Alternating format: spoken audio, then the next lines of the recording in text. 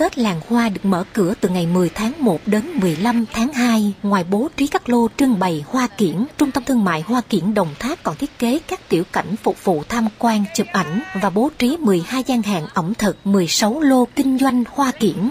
Trung tâm Thương mại Hoa Kiển Đồng Tháp đã chuẩn bị 100.000 giỏ hoa để bày bán. Hiện tại, nhiều mặt hàng hoa kiển đã được trưng bày. Những ngày qua, nhiều du khách đã đến đây tham quan mua sắm hoa kiển và chụp ảnh bên các tiểu cảnh.